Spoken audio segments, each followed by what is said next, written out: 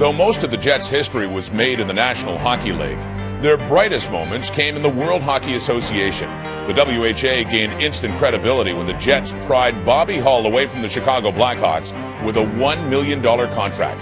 It's a terrific contract, and I really appreciate it, and I know my family does too.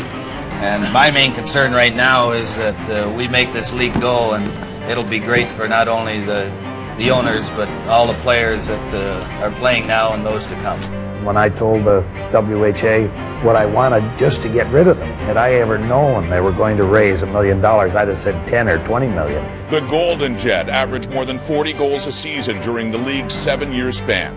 The Jets also won three Avco Cups, including the final one played in the WHA. Elected to the Hockey Hall of Fame in 1983, Hull would have his number nine retired by the Jets in 1989. I played in Stanley Cup finals, seventh games, represented my country in 74, but I've never, I, I've never, I'll get it out, guys. I've never had this kind of feeling before.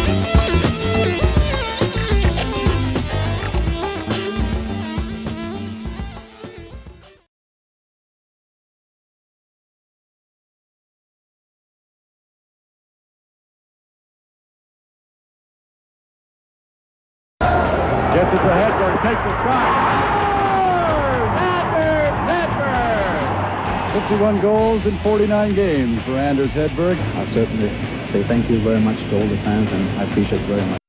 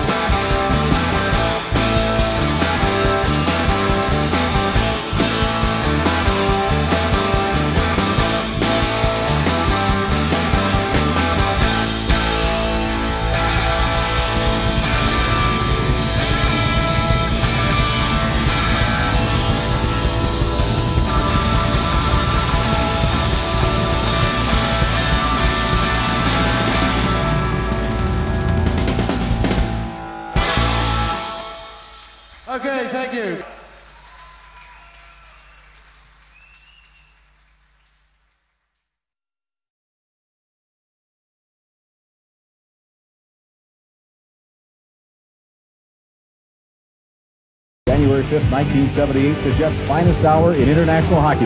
Bobby Hull leads the Jets against the Soviet national team. Late in the game, Dave Christo sends Big Dave Dunn in on the right side.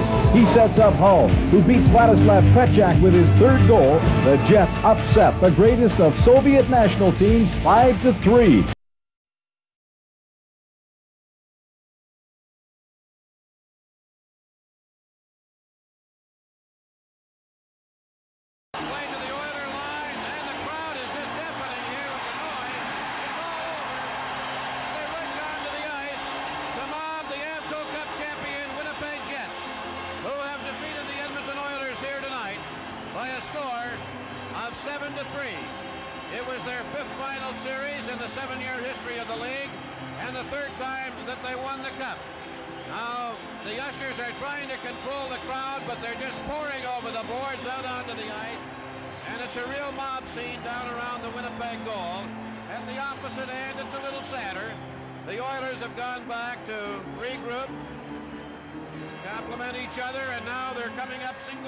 for the traditional post-series handshake if they can get the Jets loose from all of their fans and each other.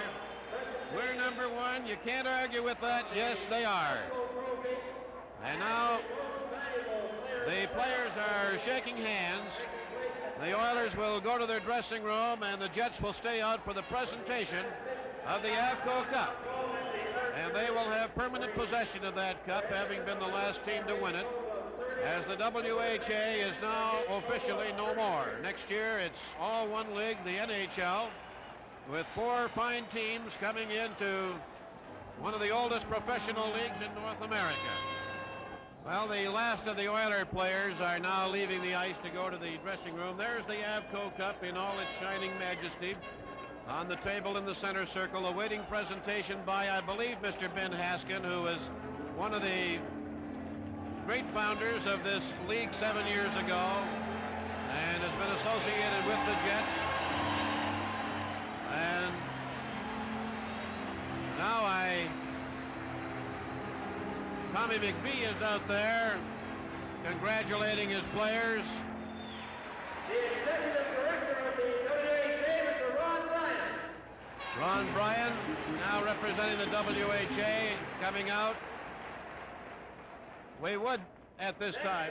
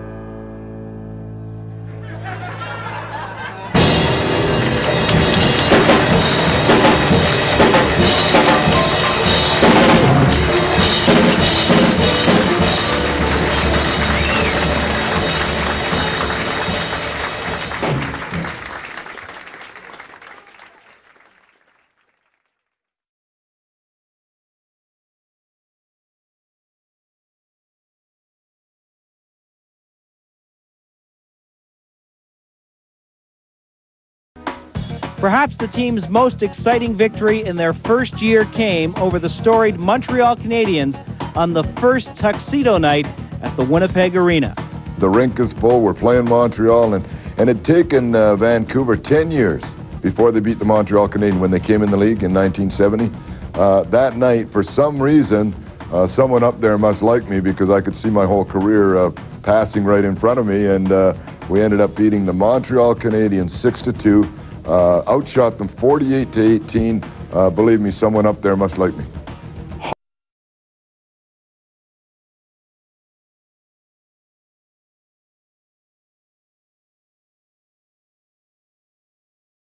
For most of the 80s, Dale Hawerchuk was the face of the Winnipeg Jets. Taken first overall in 1981, the future Hall of Famer paid immediate dividends as the Jets made a 48-point improvement on the previous year. Hawerchuk led the team in scoring for nine straight seasons and became the Jets' first 50-goal scorer. A memorable one. It was exactly that for Dale Hawerchuk. A beautiful backhand shot. That was goal number 50, first player in Jets history. Even after a blockbuster trade to the Buffalo Sabres, Hawerchuk would always be remembered as a Jet. I played for four NHL teams, but Winnipeg and the Jets have a special place in, uh, in my heart. The Jets selected Dale Hawerchuk first overall in the 1981 entry draft, and he immediately became the star attraction in Manitoba, winning the Calder in 1982 and spending eight more successful seasons with Winnipeg. In, Hawerchuk, shot, score!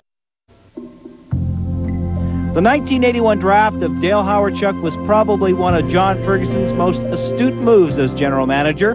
He's something the Winnipeg fans are just going to be thrilled about in the years to come, and that's all of the good part about drafting and being patient and waiting for your draft choices. And we're lucky enough to land a Dale Hawerchuk, and uh, he's a youngster, but he's gonna he's quite a hockey player. Are you anxious about coming to Winnipeg? Any uh, thoughts about playing for a last place team? Uh, no. I'm so anxious to get there. It's unbelievable. I wish it was right around the corner, but uh, you know, I'm going to work hard this summer, and uh, I can't wait for camp. Hawerchuk's rookie year was phenomenal. Looking for point number 100. He's got it. Hawerchuk scores into an empty net. His 100th career point in his rookie year. He is now only nine short of the NHL record, and what a happy youngster he is tonight. It was clear that the Calder Trophy winner would be the cornerstone of the 1980s Jets. Unfortunately, Wayne Gretzky was the cornerstone of the Edmonton Oilers. It was really frustrating because no matter what we did, and Fergie would try to retool the team, but it didn't matter what you would do. You could retool all you wanted. And we had some really good players and we had great chemistry. And then you try to make a change to get closer to Edmonton uh, nobody was going to get closer, close enough to Edmonton to beat them. And so we kept changing the team, and, and unfortunately that changes the chemistry, and then you make a wrong move. And so we were up and down too much, but the rationale behind it was what we had wasn't going to win, and we really wanted to win. You know, we could have said, oh, we're really a competitive team. Keep the same team. Next year, we'll have 92 points. But Fergie and the same thing with myself and the rest of it. We really wanted to win, and we really thought we could. We are too young, too naive, because, you know, we, you know, well, you know, what happens if Mark Messier hurts himself and we haven't gotten better and we could have beaten them? And we always tried to beat them, and we were just in the wrong place at the wrong time.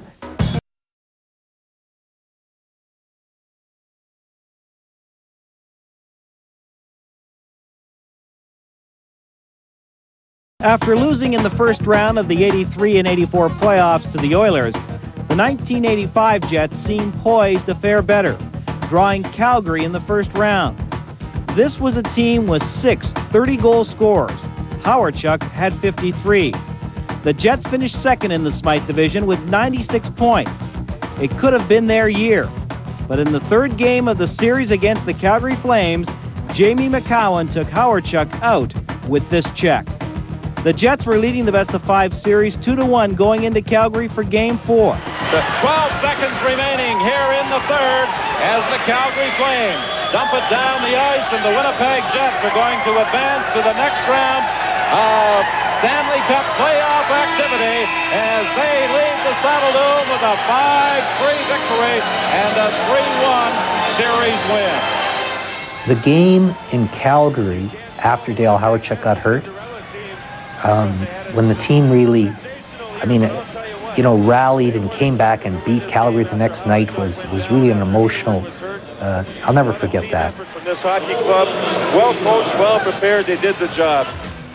In the 1986-87 season, the Jets, now under Dan Maloney, had another good year that ended the same way as 84-85. A first-round win over Calgary, a second-round loss to the Oilers. Four straight is an indication of the way that we played it. I know that's the way everyone's going to look at it, and that's, I guess, the way you have to look at it. But as far as we're concerned, we we don't really feel that we should have come out of this without winning a hockey game. We felt we played well enough to win at least two of them. There is a lot of parity between the two teams. The gap that we once held has closed. The stress had begun to show on John Ferguson, and Shenkarow was pressed to make a change. Um, John Ferguson and I um, had and still have a real good relationship, and I remember um, John had to fire Tommy McVie because he thought that Tommy McVie was um, at a point where he couldn't deal with the pressure. And I came to a point where, with John, I thought John's such an intense person um, that um, we got off to a real bad start that year, and um, I, I, really thought that John was going to explode. And I remember I, I, called up a couple of my partners and I said, you know, I think we're going to have to do something. I, John, he he's just not going to make it. Um, he's, you know, we talked on the phone all the time, and I it was the toughest thing I think I ever had to do in, in hockey because I really like uh, and still do. Fergie's just a great guy, and I think he was a really good general manager. Flip pass for Steen. Good job to knock it down. Back. Each team a man shy. Jets moving the puck beautifully. Score! Thomas Steen! Oh, the Jets are coming on now. During the 80s, the quintessential Jet was Thomas Steen. Thomas was a European who came here and could play the North American style, which was phenomenal. Uh, to Thomas's credit, uh, he probably was a number one center who always played number two because he played behind Dale. He always did whatever we asked him to do. He was a gentleman. Um, he was phenomenal for the organization. He moved here, he loved the city, settled down here, raised his family, he's retired, and he's still here. There's nothing that you can say about him that's negative. Um, he's just he was a fabulous hockey player, uh, underrated by everybody but his coaches and his teammates, um, and a fabulous citizen of Winnipeg. Steen and the Jets finished the 1990 season with another first-round matchup against the Oilers. Saved by Essensa as he had that glove hand snake out to pull it away from the corner.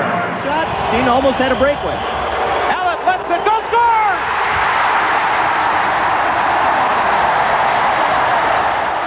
poised to finally take a series from Edmonton, leading 3-2 coming home to the Sea of White, the Jets smelled victory. 1990 will always live in my memory as the year some fan threw a box of popcorn on the ice. We were up 3 to 1. Um, they came back. We were in Winnipeg. We were down in the hockey game 3 to 1. We tied up the game. It's 3 3. The ice is tilted our way and everything's going our way, and a fan throws a box of popcorn on the ice, and they stop the game. All of our momentum goes by the time they clean up the popcorn. The game, the crowd has come to a dead stop. The fans have come to a dead stop. There's like four minutes left in the third period. Uh, Jari Kurri comes down, scores a phenomenal goal. They beat us 4-3, and it's over because they're back they're the champions. They're the Edmonton Oilers, and we're the upstarts trying to beat them still. And it was all over. And I honestly believe, and other people um, I talk to, fans, players, and other people say same thing. Everything was going our way. If that fan hadn't thrown the popcorn on the ice, we probably would have beaten Edmonton that year. That's life.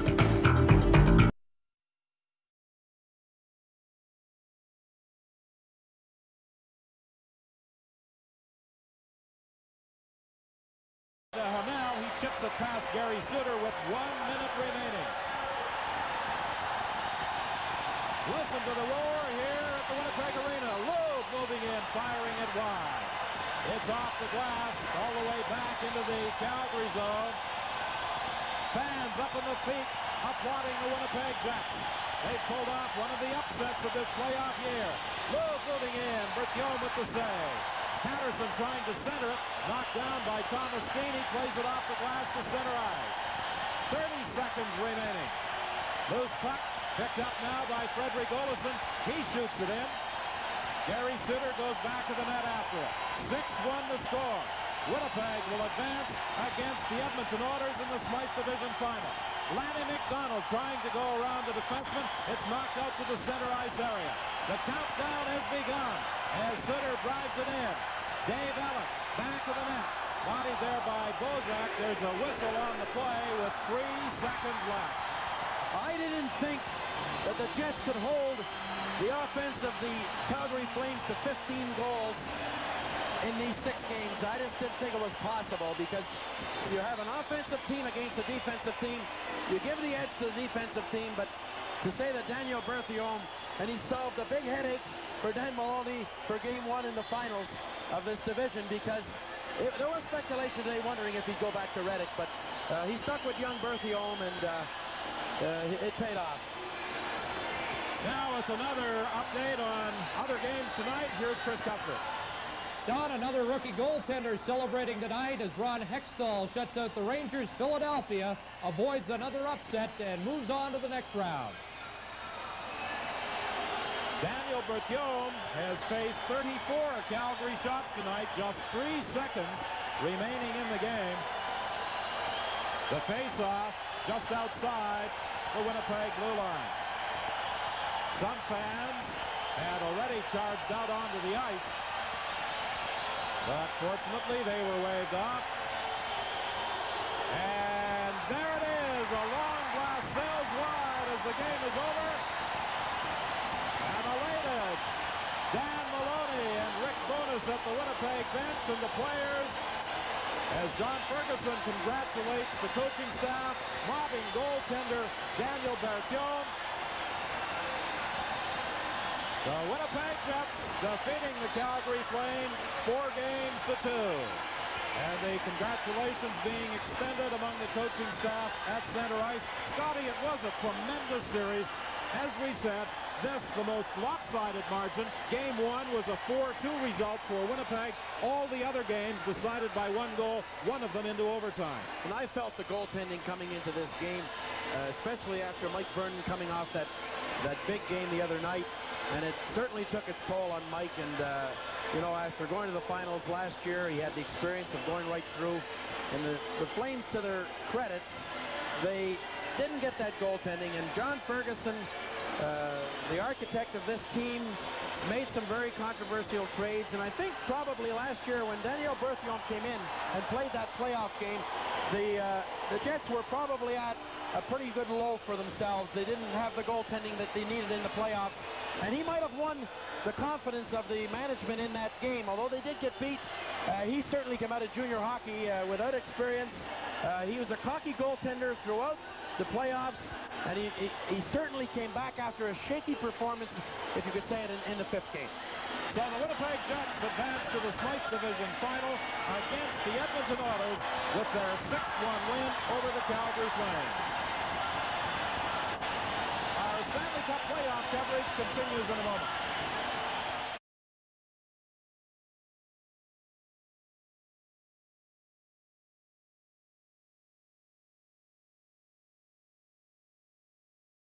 I played in Stanley Cup finals, seventh games, represented my country in 74, but I've never,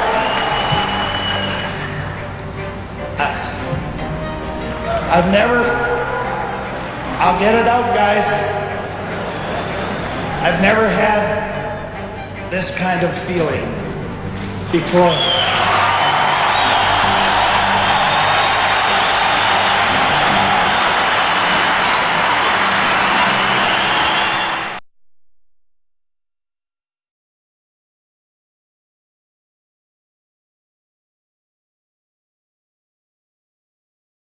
of this one.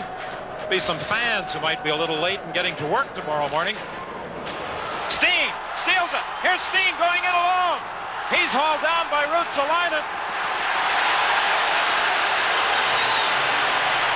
And there's a penalty coming up, the first one of overtime. This is the first penalty called in the last 30 minutes. And this one, Ruotsalainen coughed up the puck, and Steve's got a breakaway. There's Steen on the breakaway, and Ruotsalainen quits skating and gives him a tug as Steve Smith was coming back, had the angle on Steen, but I think Steen would have been in. And this is a good penalty by Ruotsalainen to haul down Thomas Steen. Hope his penalty killers can come up big again. They have all night.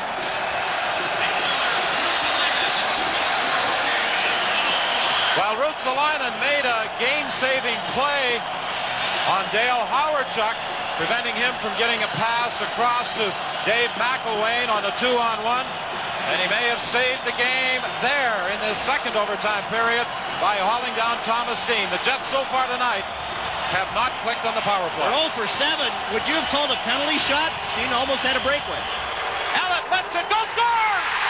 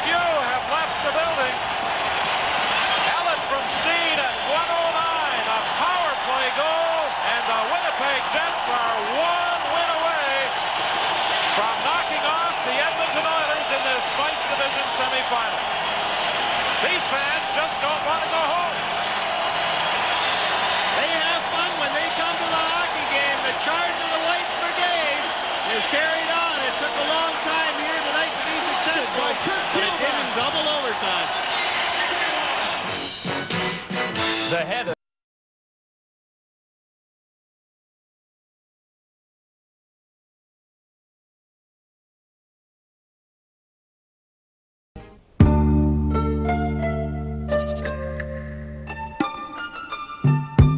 22-year-old Helsinki native was the Jets' first pick in the 1988 entry draft, and after a more than generous offer from the Calgary Flames, Teemu Selanne became a Winnipeg Jet. I'm very happy that now I'm one of the one of the members of the Jets. Thanks. The stage was set for Selanne to showcase his talents to the hometown fans. The NHL 76 season was underway, and the Finnish Flash wasted no time showing he was ready for the NHL. Two nights later, the rookie continued his quest for goal number 54, and with determination and desire to be the best, Selanne went about his business as usual. Selanne a breakaway. In goes Teemu Selanne. He scores! Shannon puts it behind the net to Steen. Steen to Selanne. Out front it goes. Shannon shot one. Here's Selanne. He scored! He's tied the record.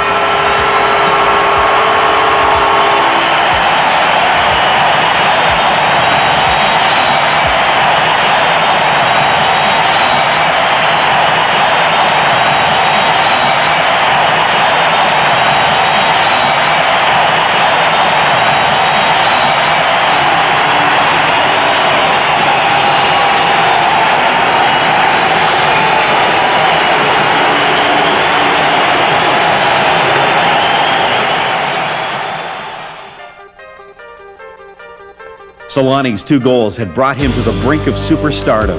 With a packed house on the edge of their seats and anticipation hanging thick in the air, Teemu Selanne became the NHL's greatest rookie goal scorer of all time. Huff gets to center. His pass. Trying to break through the middle. Moving in. Pearson cut in at the net and was knocked down. Now Domi flips it high. Selanne goes after it. Teemu Selanne breaks it. He scored!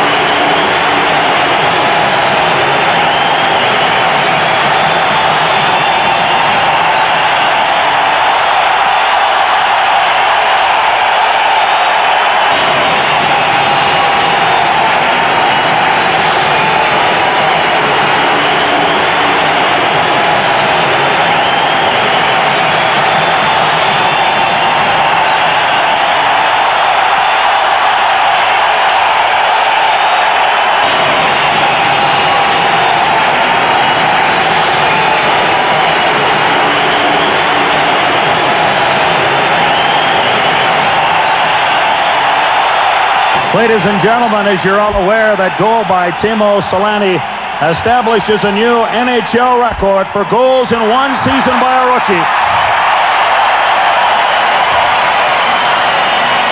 Breaking Mike Bossy's record of 78.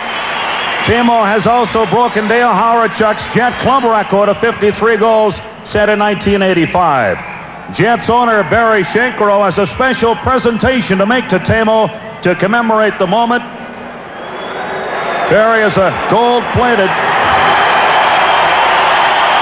Teemu Selanne hockey stick to present on behalf of the hockey club and all Jet fans.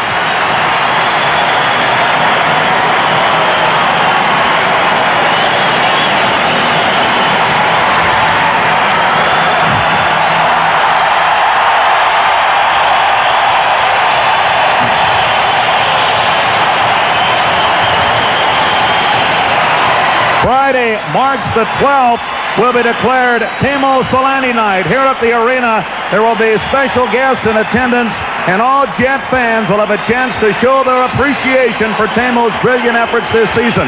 So be here Friday, March the 12th to celebrate. Congratulations to the new NHL record holder for goals by a rookie, number 13, Teemu Selanne. I want to say thank you all this present. I really appreciate and uh, I would like to thank to thank all my teammates coaches, trainers, and, and everyone who have helped me achieve this record.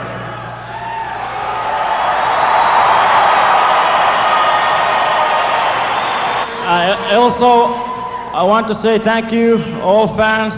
I I think that you are absolutely great, and this is nice honor to share this lovely moment with all of you. Thank you. Steen, Steen spins in the Quebec zone. Here's Steen, drop to Eakins. Eakins centers it, and Huff brings it away. Huff gets to center. His pass, trying to break through the middle, moving in. Pearson cut in at the net and was knocked down. Now Domi flips it high. Selanne goes after it. Teemu Selanne breaks it. He scored! Well,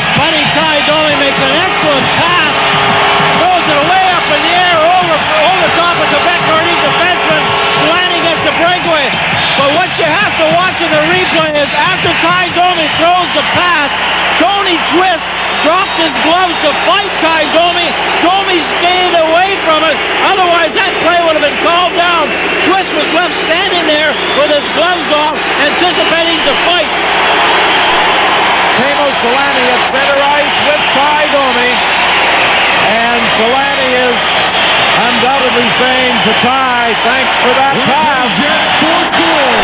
His 54th of the season and third of the night. Scored by number 13, Teemu Selanne. The assist to number 20, Tie Domi. Time of the goal, 9 minutes, 16 seconds. For all goals scored by Teemu Selanne, Inner City Papers has donated $5,000. A memorable night at the Winnipeg Arena. CKY TV has donated $5,000 to the Winnipeg Jets Goals for Kids Foundation. The Jets 54th of the. Cameramen all over the ice right now, which is really unusual for the National Hockey League to allow this to go on, but this is a record right here in Winnipeg.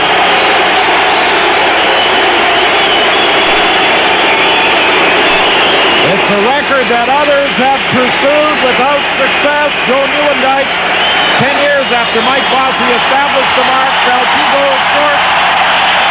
Teemu Selanne gets the record. Four goals on Sunday night, three more tonight in game number 64. So he has erased Mike Bossy's Ladies record with games to spare. Ladies and gentlemen, let's take it upstairs to the voice of the Winnipeg Jets, Mr. Kurt Keelback.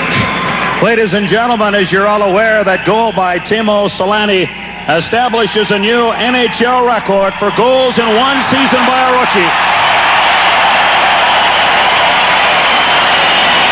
Breaking Mike Bossy's record of 78. Teemu has also broken Dale Hawerchuk's Jet Club record of 53 goals set in 1985. Jets owner Barry Shenkarow has a special presentation to make to Teemu to commemorate the moment. Barry is a gold-plated Teemu Selanne hockey stick to present on behalf of the hockey club and all Jet fans.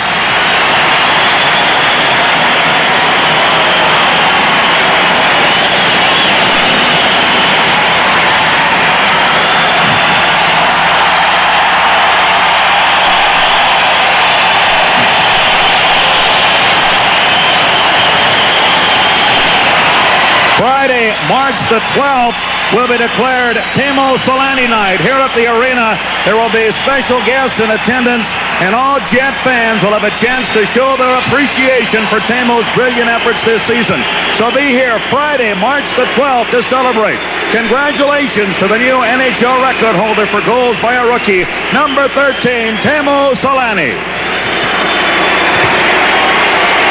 You know, it's interesting. Pierre Pagé over at the uh, Quebec Nordique bench is yelling at Ron Hogarth to get the game underway, and rightfully so. The presentation has been made, but the cameramen are still on the ice, and Hogarth had to go over and tell them to move off the ice. And let's continue with the game. The Winnipeg Jets in front by a score of 4-3. An historic night at the Winnipeg Arena. Well, it is historic, Don, and you're right. Pierre Pagé has a complaint. They all get on with the game, but I'll tell you what, if that was in Philadelphia with Eric Lindros or New York or somewhere else, they would have had a talk show to publicize those kids. It's great for Winnipeg to experience this, and we'll get all the publicity in the world, and the kid deserves it, and the town deserves it too. And you know, this is one goal that Shirley Blight of Oakville, a winner in our Safeway score and win contest, is going to remember. Teemu Selanne's 54th. She entered score and win at the Safeway store and a Tatsville from Green Giant Niblets Corn. Congratulations, Shirley, on the record goal you have won. A Ryobi 9.8 volt cordless driver drill. That might be quite ironical, Don. Shirley Blight might be related to Rick Blight, former Vancouver hockey player out in that area. Wouldn't that be fitting? A hockey family winning on a special night. So the Jets have trailed 3 to 1. Now have a 4 to 3 lead. And Teemu Selanne has his fourth hat trick of the year. Now Gusarov gets to the jet line, checked by Steen. Steen gets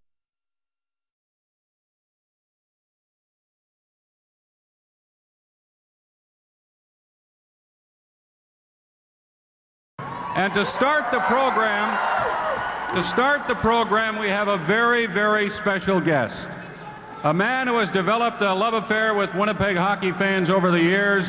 He took time out of his extremely busy schedule to be with us today. Let's have a warm Winnipeg welcome for the one and only Don Cherry.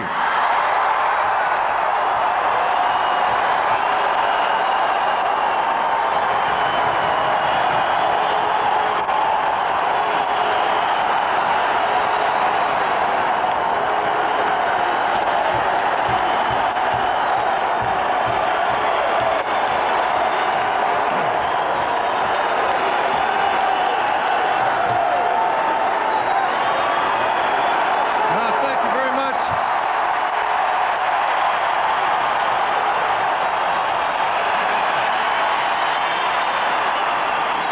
Well, thank you very much. Got to tell you, best fans in the world. Well, I'll tell you, they made a big mistake. I'll tell you that.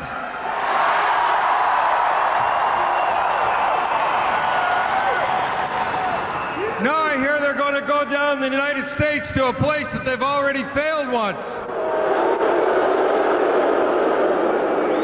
I guess we in Canada only get one chance down in the States. They get a two or three, anything you want. Well, first of all, First of all, I'd like to congratulate one of my favorite hockey players, my favorite Swede, Thomas Steen. There. Right over there.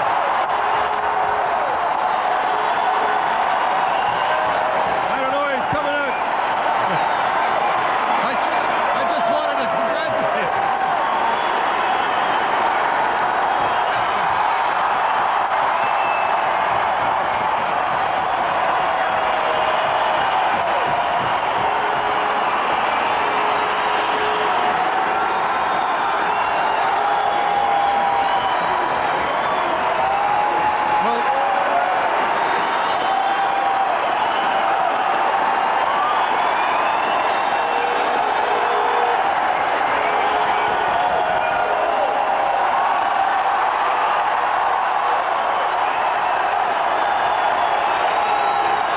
Unbelievable, unbelievable. I guess Was supposed to come on later, I suppose, I, but I had to congratulate him. He'll talk to you. I have to get back to Toronto. I got to catch a plane in a half hour. Oh, wait a minute. About Toronto. I got to do Coach's Corner. I'll have more to say about this on Coach's Corner tonight. So,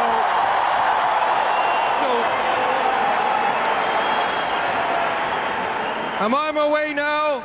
They might have taken your franchise. I want to thank you so much for all the Sea of White, how good you've treated all us on Hockey Night in Canada.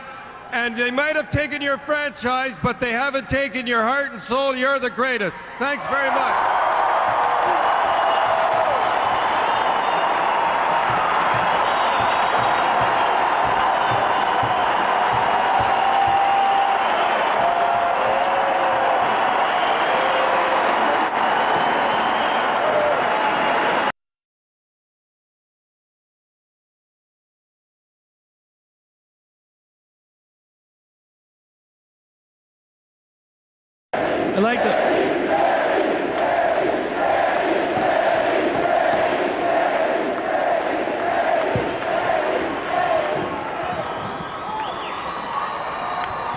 To say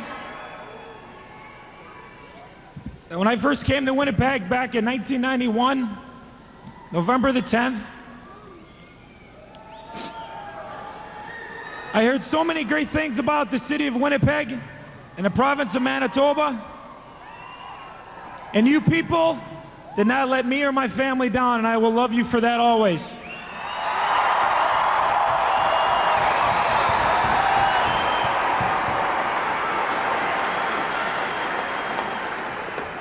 Any player that's ever gone through this organization has had nothing but great things to say about the people in the city and the love and the support that you people have shown, along with all these people right here in our benches here, the people standing right here, is what the city of Winnipeg is all about.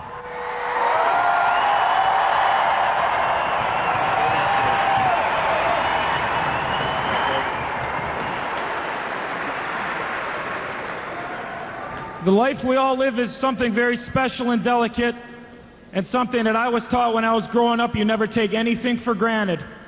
And for this team being here 23 years is, I'm sure, something people will never forget. And I would like to talk to all those young kids out there that are Winnipeg Jet fans and to know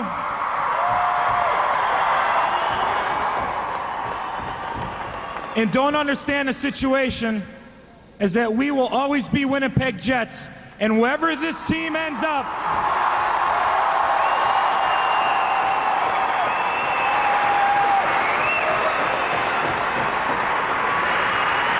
wherever this team ends up,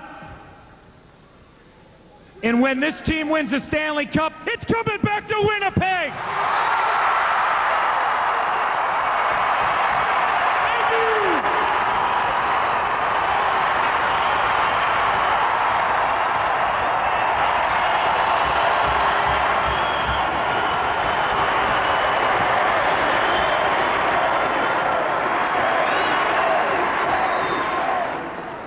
And that's a promise I make right now.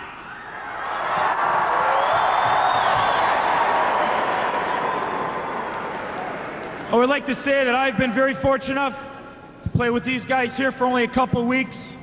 Everybody knows the situation, but I would like to special out two guys that I played with are really the true colors of the city of Winnipeg. And as a gentleman, we will be retiring his jersey later and Thomas Steen. And the guy right here, Randy Carlyle.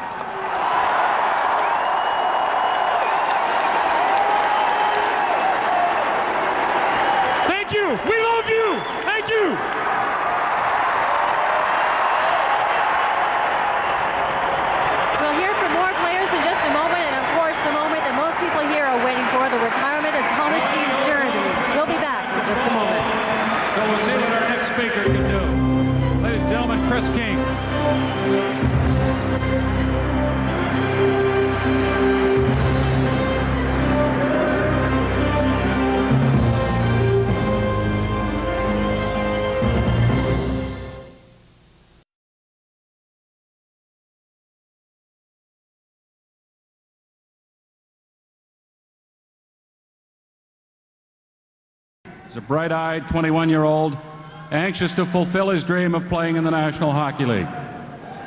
Wasn't very long until we were calling him the Swedish Goon, because right from the first shift, he played with a resolve that fans around here loved. He never took a backward step when challenged by Mark Messier. He asked no quarter and he gave no quarter. In addition to that determined, feisty nature, he was loaded with skill. It was quickly evident he was a great passer with superior offensive skills, and his commitment to defensive play was unwavering. In hockey lingo, he worked both ends of the ice with unrelenting resolve.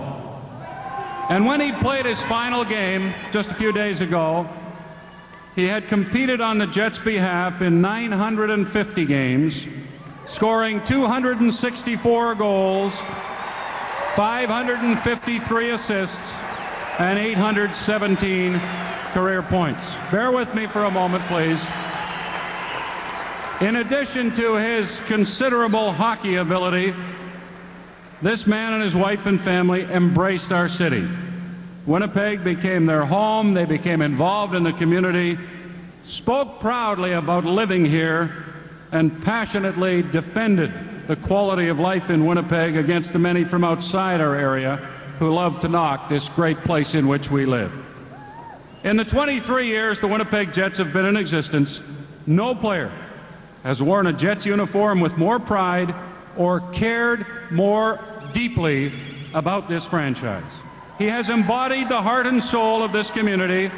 He has combined that rare combination of athletic skill, character, class, and dignity that we would like to see in all our professional athletes.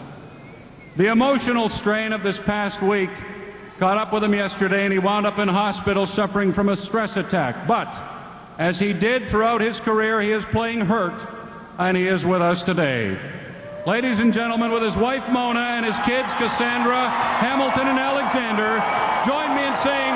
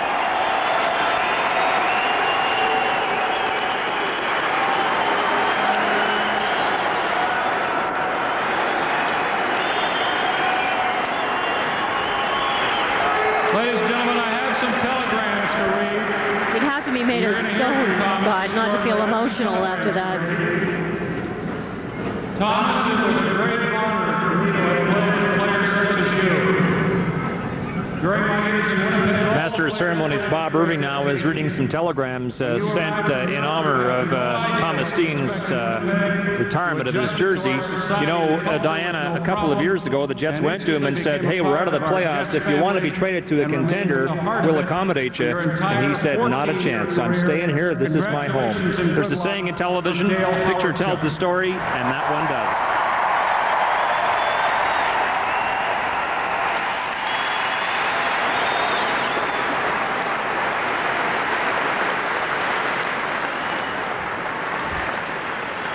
Dear Thomas Steen, I can remember going to Leksand, minus 50, to watch you play with Roland Eriksson.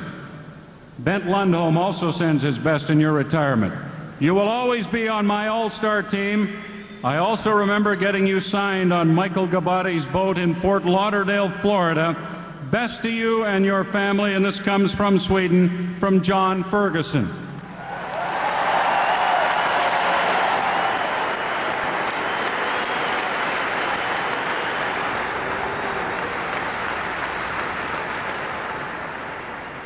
And another one from Sweden. Thomas, just found out about the ceremony. You really deserve it all.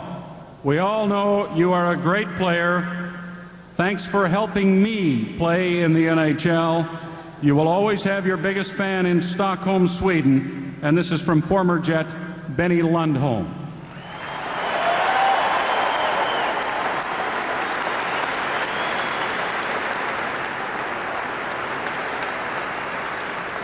I also have one more special announcement to make. The Winnipeg Jets Goals for Kids Foundation would like to thank Thomas Steen for serving on its board of directors for the last six years. And in commemoration of the retirement of Thomas's jersey, the foundation will dedicate the naming of the Children's Hospital Emergency Unit in his honor.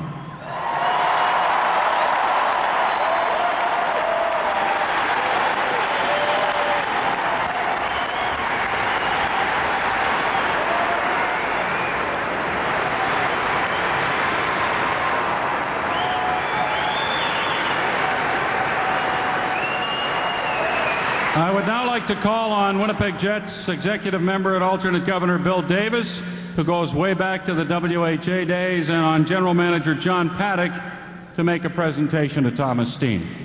Bill and John.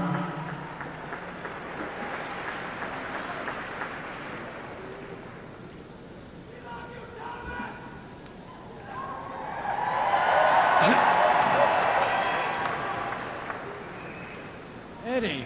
Awesome, Eddie. Thomas Steen exemplifies the qualities of what a hockey organization seeks when it recruits a player, and Bob Irving has adequately described those qualities in Thomas Steen. He is second only to Ray Bourque in Boston in length of service to the same NHL team and is one of the most competitive players in the game.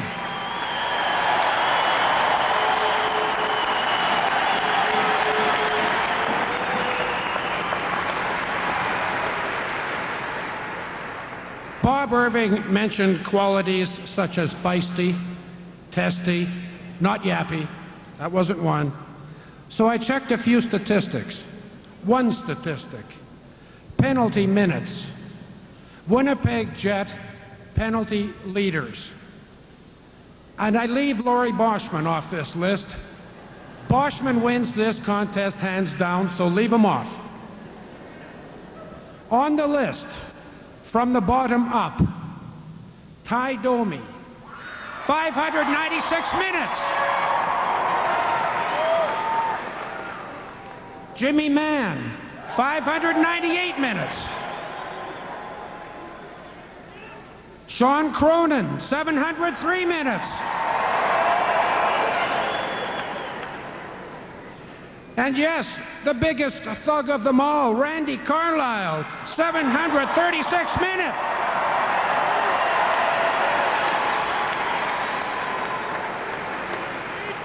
Jimmy Kyte, 772 minutes. And next to Boschman, the Winnipeg Jets all-time penalty minute leader, Thomas Steen, 776 minutes.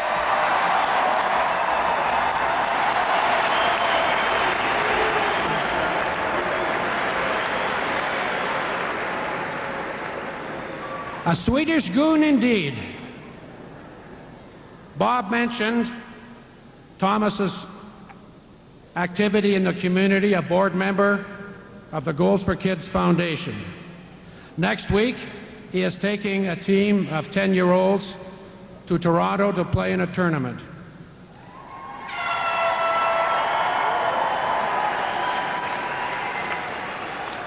And on July 1st, he is taking that team to Ottawa to play in a tournament with 160 teams.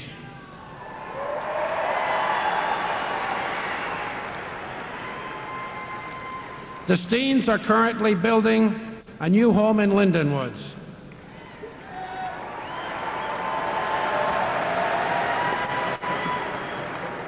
And Mona has started her own career, home decorating with Malcolm Construction.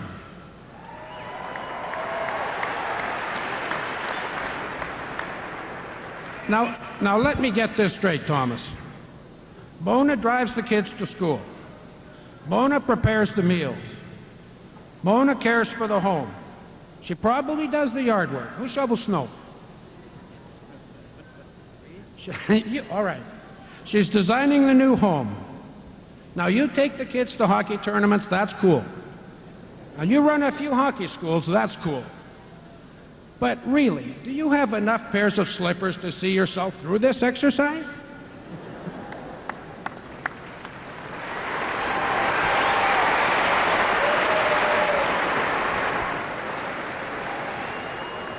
A typical citizen of Winnipeg with a high level of modesty and a strong work ethic, Winnipeg's Thomas Steen.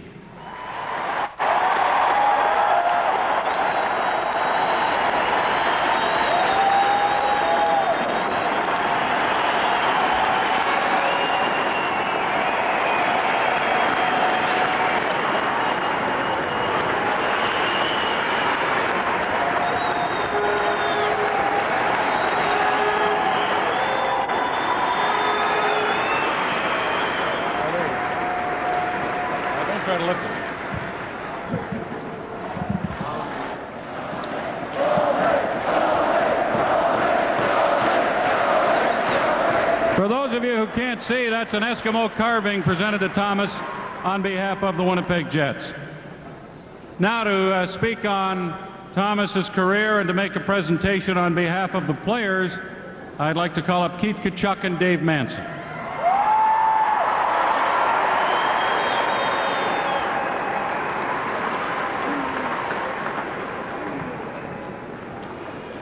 On behalf of all the players, we'd like to present Tommy with little token of, of our appreciation for the most classiest guy we've ever played with.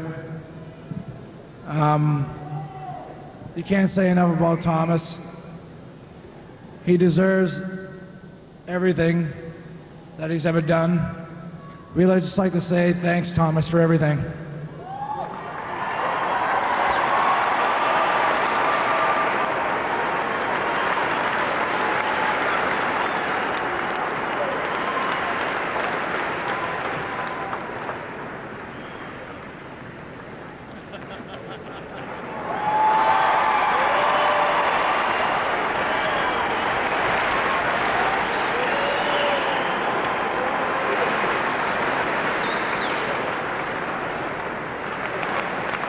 There are a few players, ladies and gentlemen, who want to say something to and about Thomas Steen.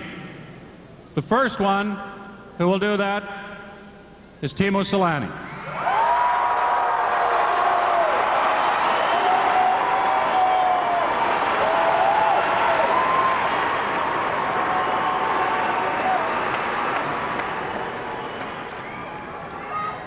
I can say that I have been very lucky that I have played three years same team with Thomas.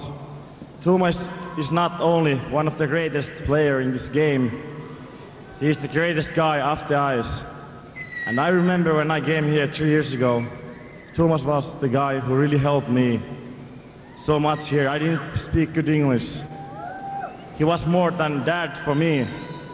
Not, not because he's so old, but because he wants to care his teammates and make sure that everybody feel great. Thomas, you're the greatest guy, and uh, I'm really gonna miss you and your Ferrari, and uh, we're always gonna be good friends wherever we are. Thank you, Thomas.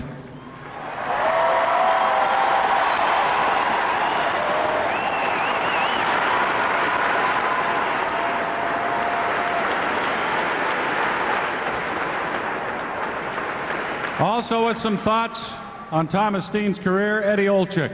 Ed?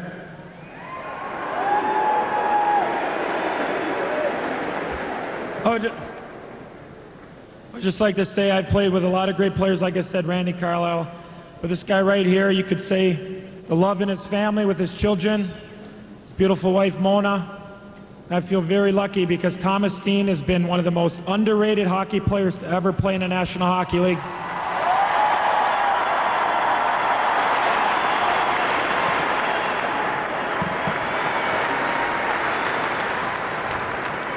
I feel very fortunate. I've been around the block a few times, probably a few too many times, but I feel very lucky that my family's come in contact with Thomas Steen because I'm a better person for it. Thomas, congratulations. Wherever this team goes, wherever this team goes, Thomas Steen will go with us. Thank you very much.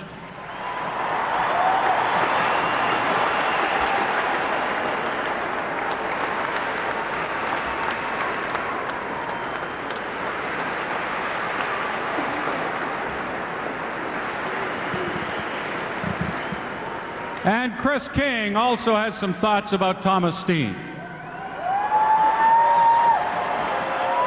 Well, I actually uh, have, have the best job today, and that'll be uh, helping raise uh, Thomas's sweater. But before I do that, I think uh, just to repeat on what Teemu and, and uh, Eddie said, what what you have here, and you do have him and his family, is a Winnipeg Jet, and you're very lucky to be able to hold on to him. I know this is going to be Thomas's home.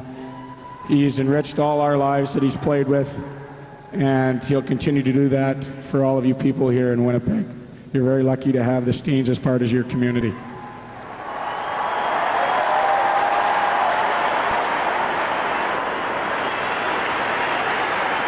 So, without uh, putting it off, uh, if I could have uh, Teppo and Darren Shannon, uh, longtime teammates of Thomas, and uh, I think we're going to have the Steen family move down, and we'll uh, we'll get this shirt where it belongs, up in the stands here, or up in the rafters.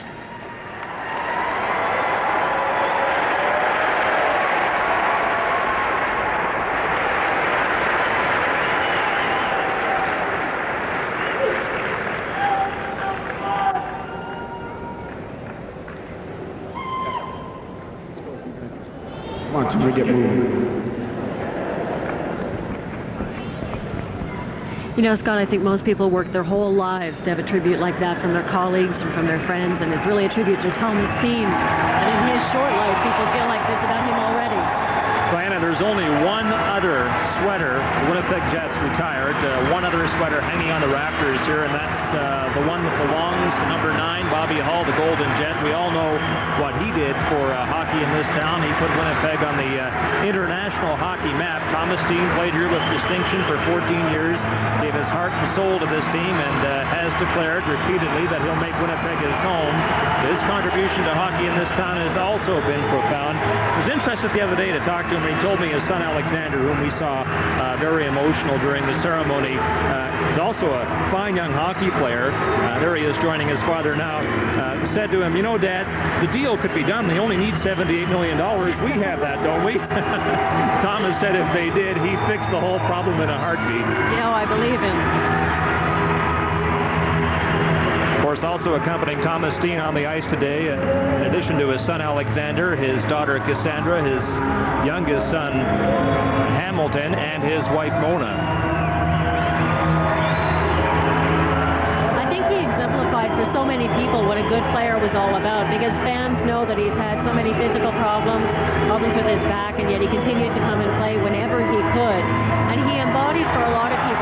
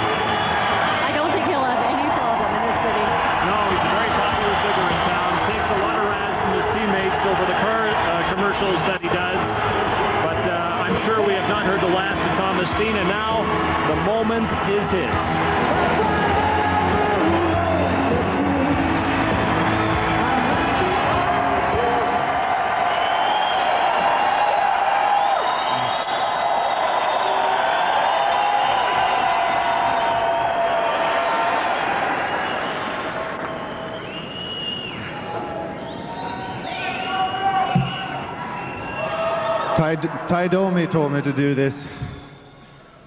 Bring some water, he said. oh,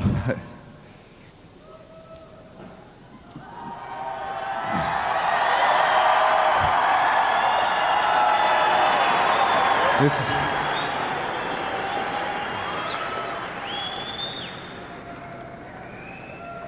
I don't know where to start.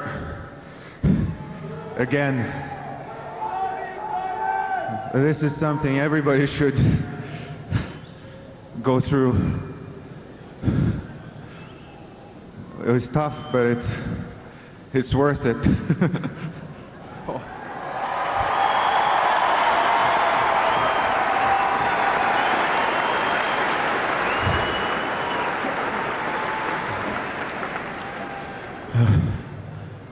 I don't know what to say.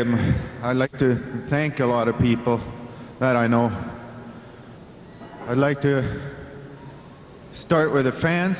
I don't know, I haven't rated you here, but thank you for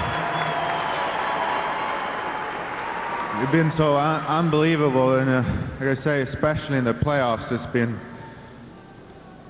it's been feelings that I never felt any time before or anywhere else either unless it's been with my family. so that's rated pretty high.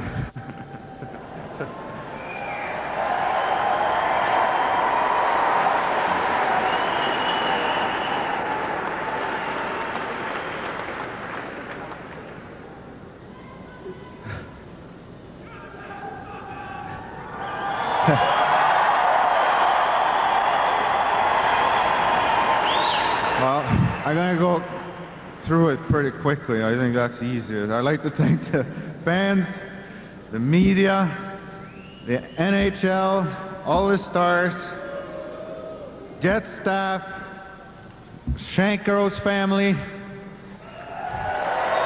Carlyle's family, Bobby Hull, Ab McDonald, all the players. that's been on the team for over the years especially this group here, because I think they're going to go a long way somewhere.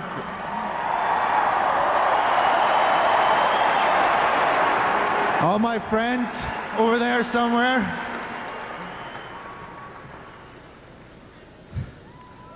My brothers and sisters' families back in Sweden.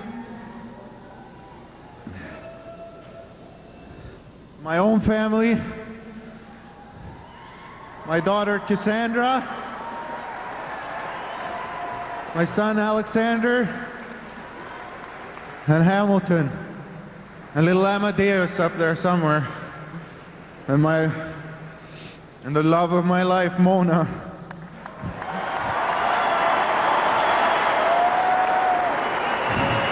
Mona, strong like a bull, steam. She's been, she's had to put up with a lot over the years. And I, I really love her for it.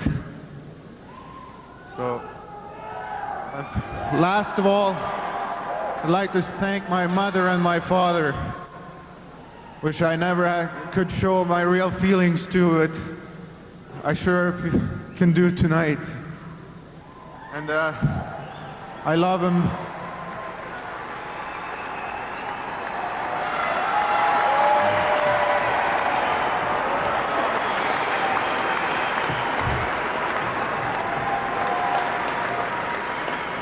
And uh, I, uh, it's one more thing that I would like to say anyway. If, if there's any chance at all to get an arena in Winnipeg, I'd like to see one. I hope somebody's listening.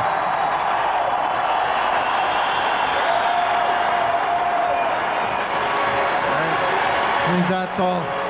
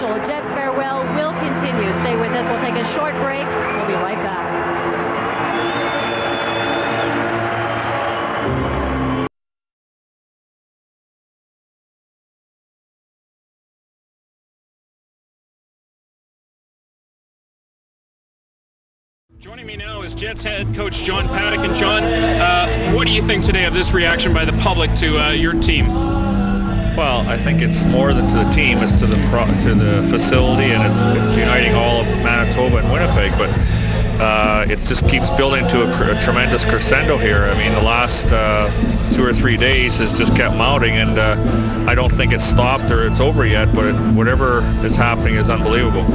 Manitoba born and bred, this must mean a lot to you to have uh, the, fa- the fans and the citizens come out and support you like this. Well, I think it makes you uh, even more proud to be a Manitoban or Winnipegger. It, it says something about these people here, and, and uh, I don't know if it could or couldn't happen anywhere else, but uh, it's hard to believe that something like this is happening, period. So it's a real tribute to the people, you know, of the city and of the province. Well, thank you very much for joining us, John, and I hope everything works out well for you and your team. Thank you very much. We hope so too. Better known to hockey fans around North America as Dancing Gabe. And Gabe, tell me, what's your impression of the reaction from the Winnipeggers to the Jets' cause here? uh, fundraisers, uh, uh, some charities and uh, stuff like that. The money, the check, and uh, I like, I like that. I'm impressed with the event tonight. Okay, tell me, what does it mean for you, being a huge Jets fan, to keep the team in town here? We need a, we need a, bu- we build a new arena. It's been 12 years uh, uh, shouting and uh, and uh, shouting matches and stuff like that. Okay, Gabe, well, thank you very much, and uh, enjoy the rest of the evening. Okay, you too, I Sean. want to personally uh, say thank you very much to all the fans for all the support they've shown and, and the great character you've shown in coming out and uh, giving us your hearts and your, your pocketbooks. And uh, thank you very much to the Jets for hiring me and, and allowing me to, uh, to establish a tradition uh, for myself in singing the anthem. Thank you very much. And here's a song that uh, I just want to dedicate to y'all from me. And we're going to have a special guest come up with us, someone that you all know, Dancing Gabe. Going to dance with us.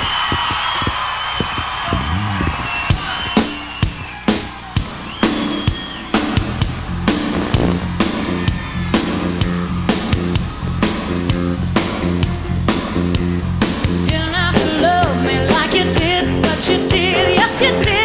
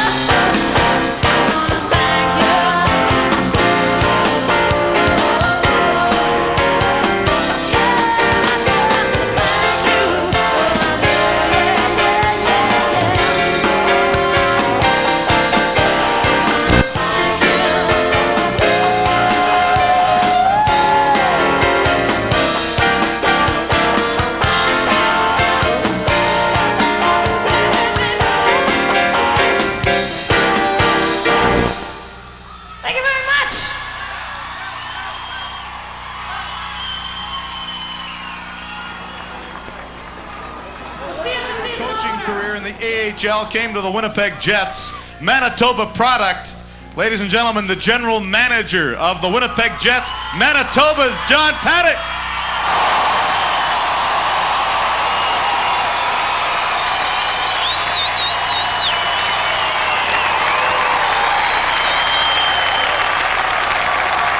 Another gentleman who grew up right here in Winnipeg, who, as he grew up, likely sat at the arena and dreamt of a day that he may wear a Jets jersey. He not only did that, but he succeeded in becoming one of the best face-off men in the National Hockey League, Randy Gilhen.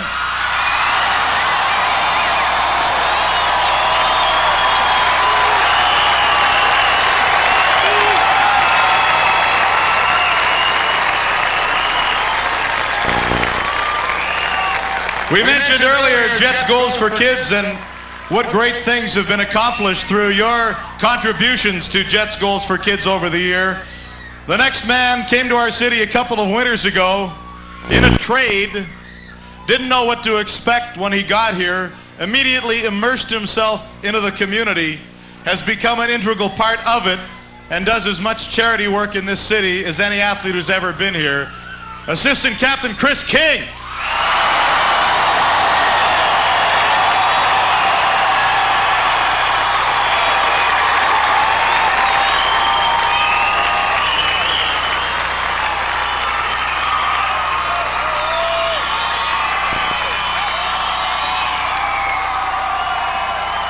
Here's a guy who's got an identity crisis. His parents give him a name, nobody calls him that. Because somebody with the same last name once played in the National Hockey League, he grew up with the nickname Walt. Never met the guy though. Because he has an affinity for the movie Slapshot and maybe a little resemblance to the lead character in the movie, his teammates call him Reggie. Ladies and gentlemen, the captain of the Winnipeg Jets, Keith Tkachuk.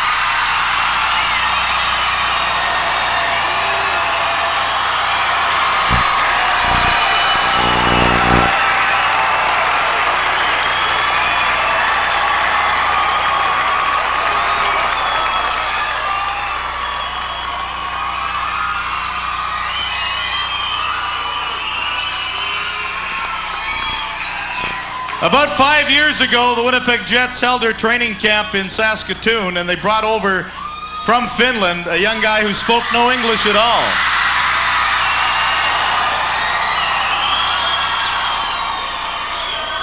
This guy learned from the best, Teppo Numminen, the most important words in English. Milk and hot dogs, right? Of course, he went on to become the highest scoring rookie in the history of the National Hockey League. Teemu Selanne!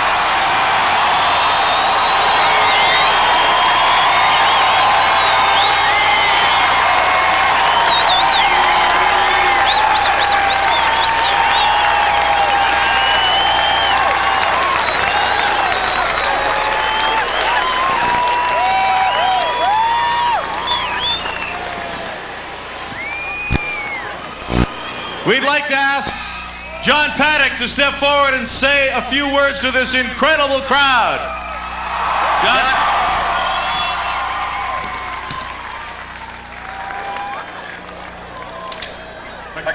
A question first. Are you having more fun than that farewell about 10 days ago?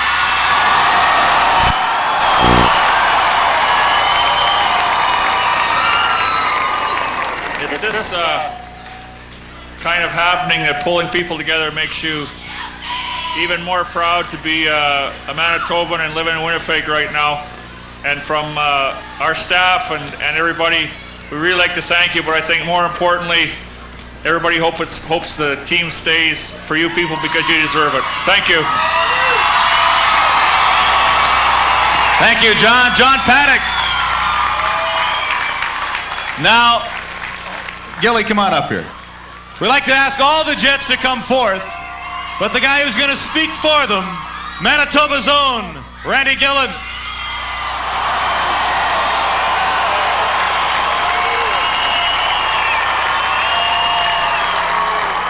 First of all, When I look out here at all this crowd, one thing comes to mind. There's enough people out there to fill a new arena.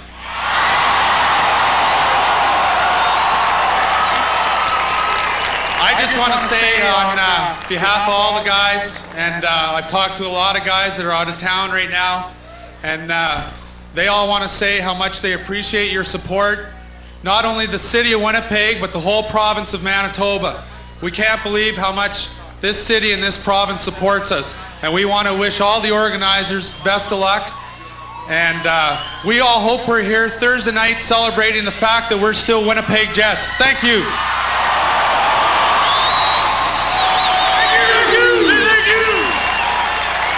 Thank you, Kris King, Randy Gilhen, Reggie Tkachuk, and Teemu Selanne, along with John Paddock. Your Winnipeg Jets.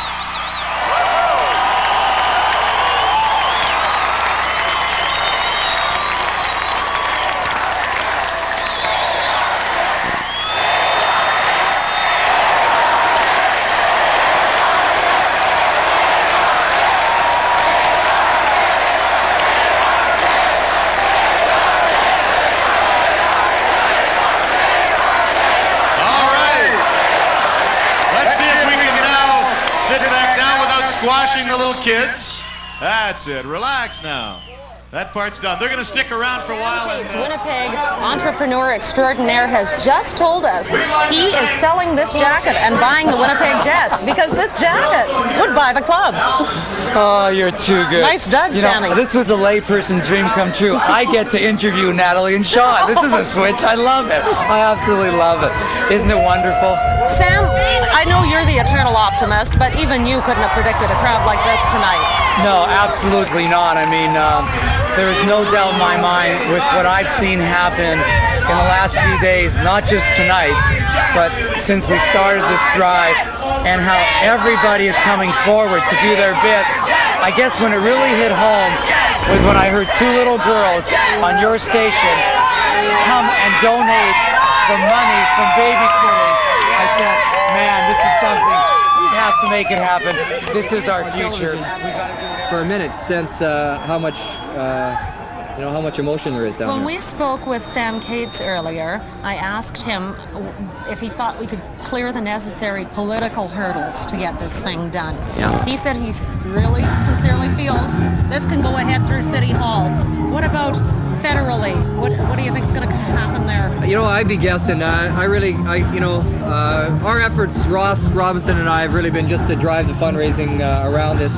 The political end of this deal has got its own life, and I, uh, I, you know, I would be guessing. I wouldn't, I couldn't tell you any more than you probably already know. I, you know, I obviously, uh, you know, the federal government's uh, has yet to commit, and I think they expect to hear from them tomorrow. I understand there's a real willingness and a want to do it, uh, so we'll just have to to keep our fingers crossed and hope uh, hope they pull through for us. Now, Mark, assuming that the governments do all agree to take part in this, what are your predictions in terms of the business side coming through and getting the money that's needed to keep the team going? Well, I, I can tell you that uh, you know we've raised a lot of money in the last. Uh, there was a lot of money in place, frankly, from the original MEC uh, commitments, and we've built on that somewhat. And it's it, as difficult as it may seem to, to believe. Like we can't get our arms around it right now. We don't know how much money we got. Uh, when we left tonight, uh, we had two fax machines uh, with pledge forms coming in, and they uh, they just keep coming off. So, you know, we got to guy keep punching them in as fast as they come off. Uh, hopefully tomorrow, you know, by midday, we'll have a real good idea what kind of uh, forward equity we have for, the, for this whole Mark, deal. thank you very much for My coming pleasure. down to talk to us. And at the stage, we just heard from Cecile Brown and Chris Gaffney. Here's the man we've been waiting for, Kenny Shields and the Rockets.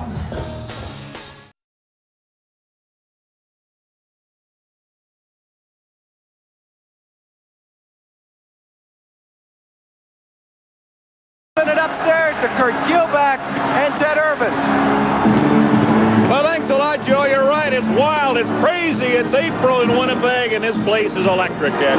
Unbelievable atmosphere, Kurt. This is going to be an exciting uh, evening for some of these young hockey players coming out to play tonight. And I think the players have to feel the effect of it. I mean, some of them don't have any idea what to expect when they skate never, out on the ice. never experienced anything like this before or after. Terry Simpson says they're not nervous. Those guys can hear the message in the room right now. They hear the fans churning.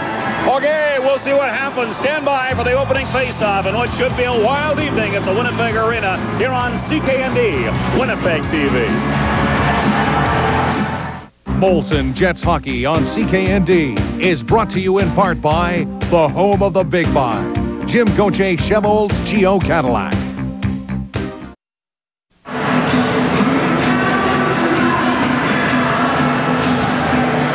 Okay, as uh, this being the final home game, there is some ceremony to preclude the game. Here's PA announcer Kim Camarda.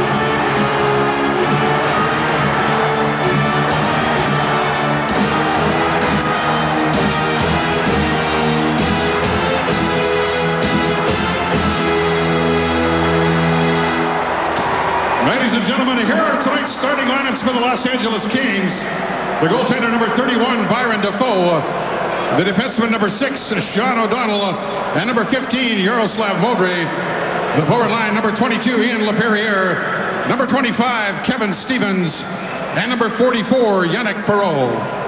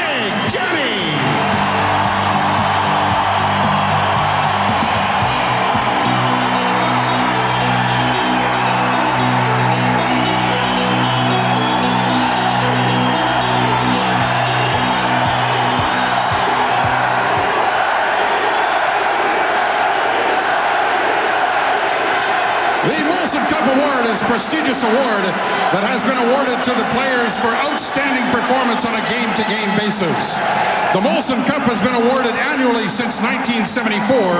Molson Breweries would like to donate the Molson Cup trophy to the Manitoba Sports Hall of Fame and the citizens of Manitoba to be enshrined in a permanent Jets display that will be featured at the museum facility in the Johnston Terminal at the Forks. Please welcome Mr. Marv Roberts, Director of Corporate Sales for Molson Breweries, and Mr. Sam Fabro, Chairman of the Manitoba Sports Hall of Fame, who will accept the Molson Cup on behalf of the Manitoba Sports Hall of Fame.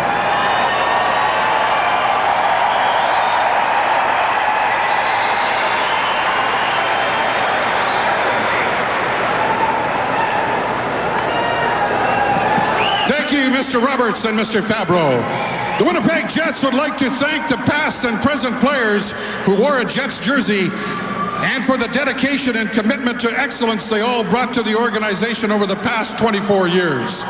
On behalf of the Winnipeg Jets all-time alumni, we have brought back two players who epitomize everything great about the Jets organization. Through their loyalty, enthusiasm, and hard work, they represented the hockey club and the province with class and distinction, both on and off the ice. Together, they embody the true spirit of professional sports. Ladies and gentlemen, please welcome the Jets scoring leader from 1972 to 1976 and the winner of three Av- Avco Cups, the Winnipeg Jets number nine, Bobby Hull.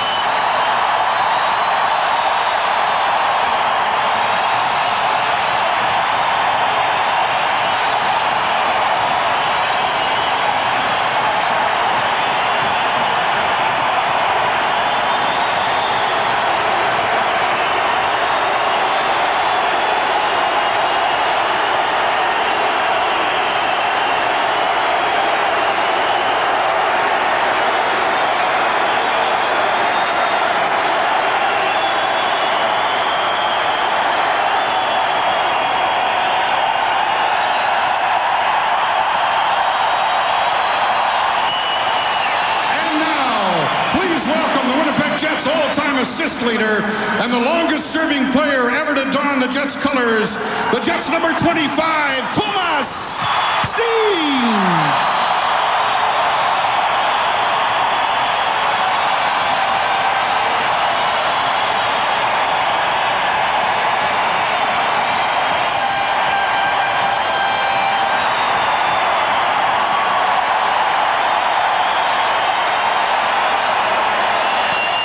Now to perform the ceremonial face-off, please welcome the 1994-95 nominee for the King Clancy Memorial Trophy, the winner of the 1993 and 94 Chrysler Community Service Awards, the Winnipeg Jets captain, Kris King.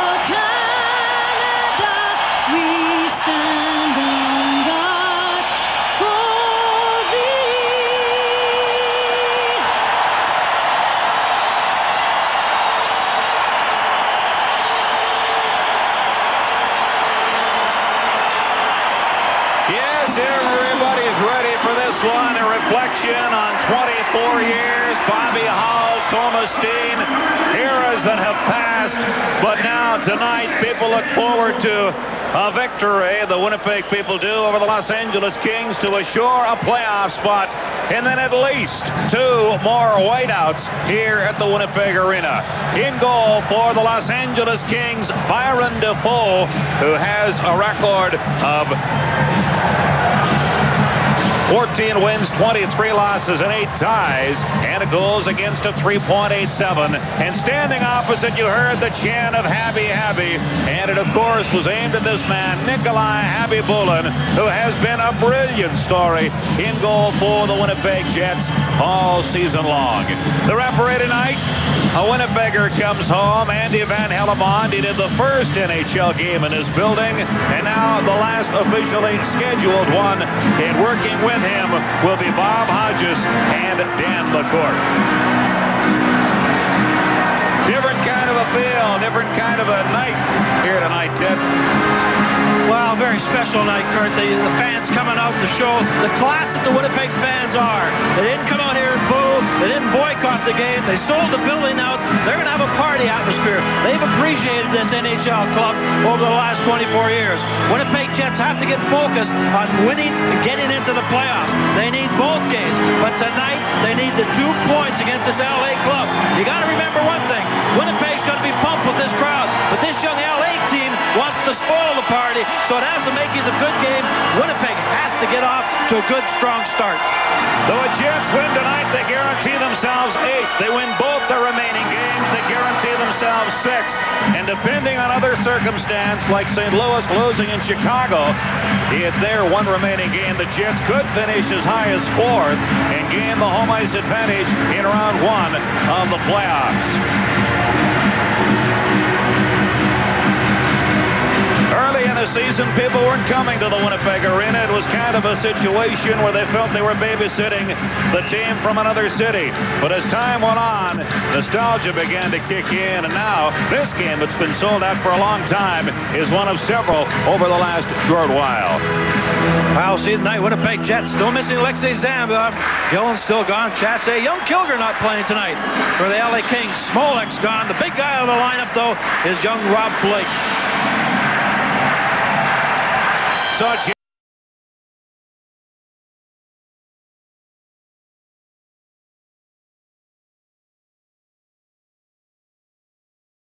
Well, this is only the biggest face-off of the season as far as the Jets are concerned.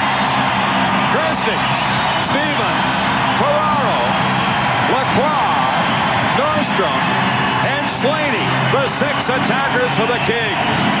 Eastwood will take the faceoff. Tkachuk, Olczyk, Manson, and of course Teppo Numminen for Winnipeg. Eastwood wins the draw, but it's dug out now, centered. Now Ferraro down into the corner. Ferraro slides it behind the net. It's taken by Lacroix behind the net. Ferraro battling Eastwood. Nordstrom goes after 30 seconds left. Numminen tried to clear, and he did. It went into the bench.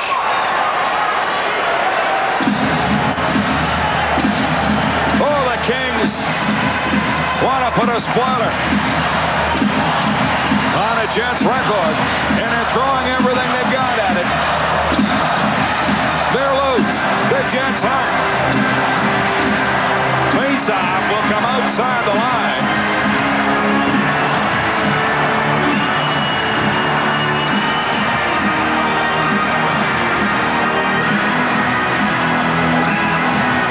So once again, there's some consulting Terry Simpson giving directions to Dallas Drake.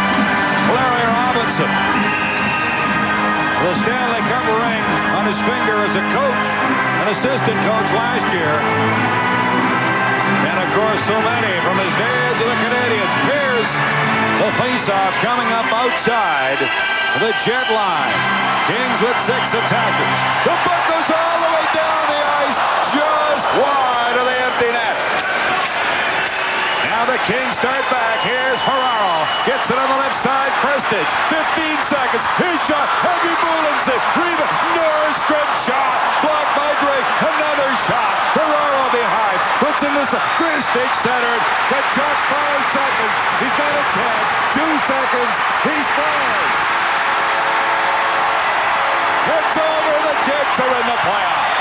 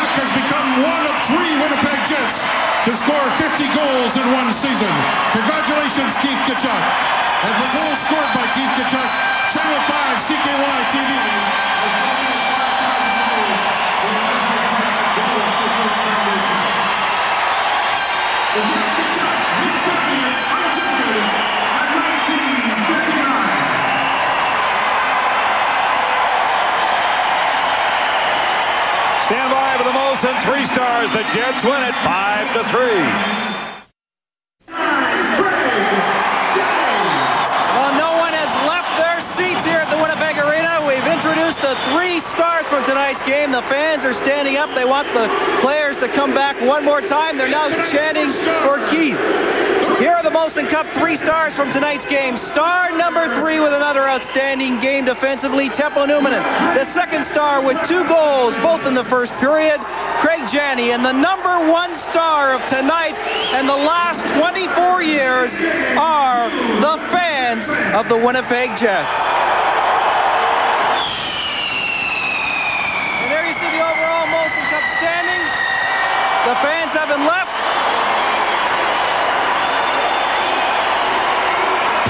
And let's just soak it in.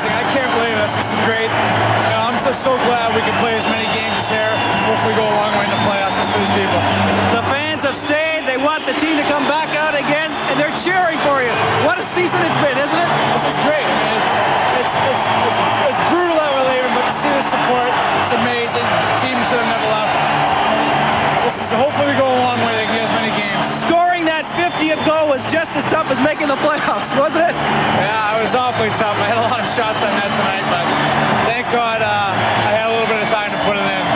All right, you've made the playoffs. The fans want the season to go on. You guys feel that you could be the surprise team. Well, I know. I mean, I mean, we could finish as high as fourth right now if we beat Anaheim, and uh, well, we're looking at getting the playoffs in a high spot, and uh, who knows what can happen.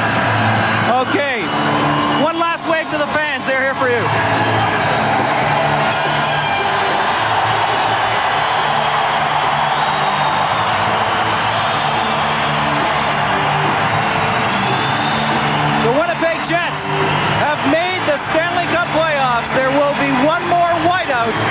Jets history.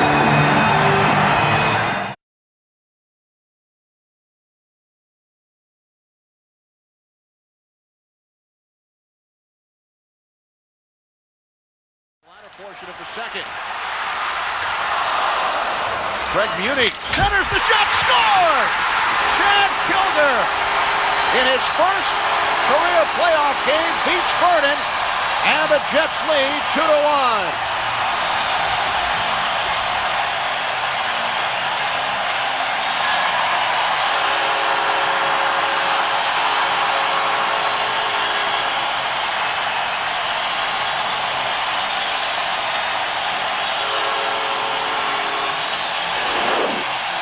We got one happy youngster and, and Chad Kilger, first ever playoff goal. Credit Craig Muni with a very intelligent play. He backhands it back out in front of the net right there. Boom. What a shot by Kilger. He leaned on it and beat Vernon Lowe to the glove side. But Muni made a very, very intelligent play to go back out in front of the net with the puck. And Detroit was all looking for Muni and behind the net. Boom. Nobody there but Kilger. And he makes it two to one Winnipeg, and this place erupts. Kilger snuck in the back door behind Doug Brown, came out of nowhere, and Muni just dumped it out there, hoping somebody in white was there, and he was.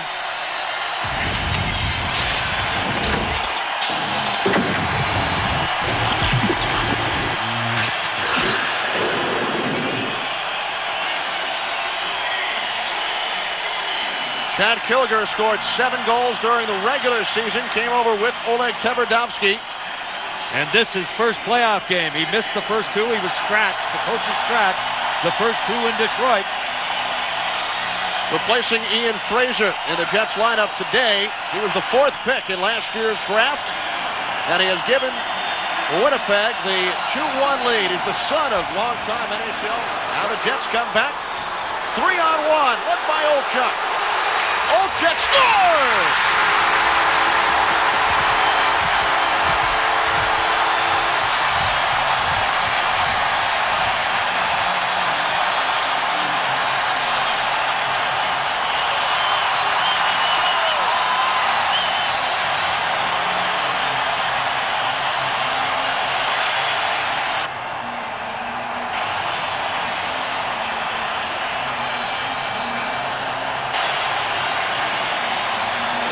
Well, the Red Wings are pressing to tie the game with 4.35 left.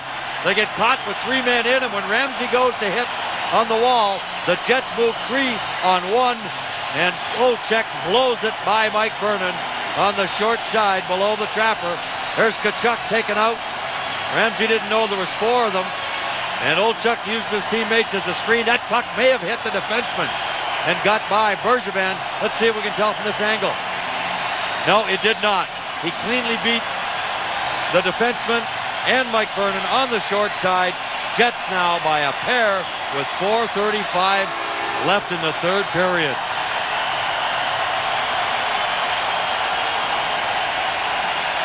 Eddie Olczyk knows all about scoring goals, boy. He scored a ton of goals throughout his career. 12th year in the National Hockey League.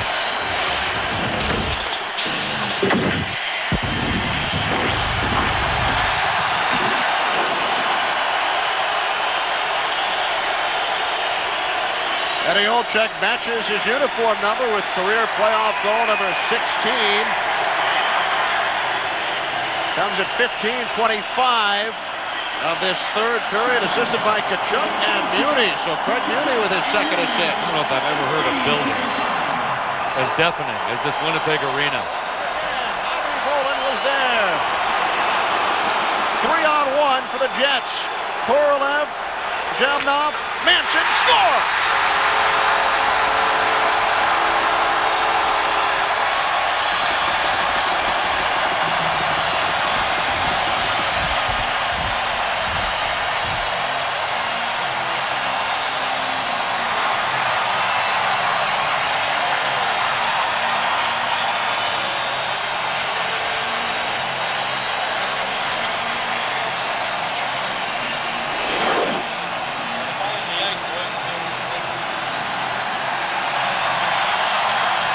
Well, the Red Wings are all four guys up trying to make it happen offensively to tie this game. And Coffey's up, only one man back. Jets execute perfectly. No chance for Konstantinov or Mike Vernon. Dave Manson gets lots on the wrist shot to put this one away with a minute 57 to go. And Khabibulin again, boy, oh boy. Can't say enough about the work he's done. He stopped Primeau there point blank. And away came the Jets to finish it off. Dallas Drake, after this play, limped off very, very slowly. He got hurt in a collision right around the hash marks. How often do you see the uh, spectacular save on one end lead to the rush and the goal on the other end? Fedorov, and that caught his helmet, his face mask. That got him right in the top of the head, and I think Khabibulin saw that thing coming and just put his head down a little bit and let it hit the top of the mask. And despite all the noise, we heard that ping up here in the broadcast booth. He grew up, this kid grew up in Russia watching Larionov and Fetisov. They were two idols of his. Look at the wrist shot right off the noggin and up into the stands. But Larionov and Fetisov were idols of Khabibulin, and he said as a kid, I often had dreams about wondering someday maybe I can play with or against those guys, and he's got his dream now. 4-1, Jets lead. Manson from Korolev and Zhamnov at 18.03. Jets with three goals in a span of six minutes, 27 seconds. And Khabibulin may very well have a chance to play with the Fedorovs and the Fetisovs in the World Cup coming up in August and September. Khabibulin has been selected for the uh, Soviet squad. King and Bergevin came together. Bergevin got the stick up. Play continues. Ciccarelli right wing. Across now Fedorov drives one wide. One minute remaining. So the Winnipeg Jets will assure at least a, a game five in Detroit. The question remains, will will be? Jets certainly giving their fans great memories this afternoon. These fans who have watched 16 seasons of NHL hockey, the World Hockey Association, Jets moving to Phoenix next year, but they will certainly remember this one against the top club in the National Hockey League with 62 regular season wins. Second consecutive President's Trophy. Jets with three goals here in the third period. 10 seconds away from their first playoff win in three years. The fans count down the final seconds.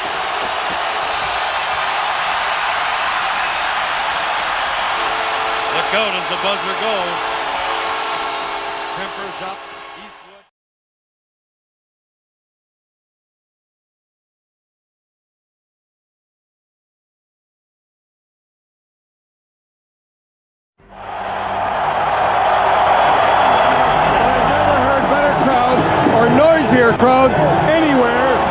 During the 1985 playoffs, the Winnipeg Whiteout was spawned as a response to Calgary's Sea of Red.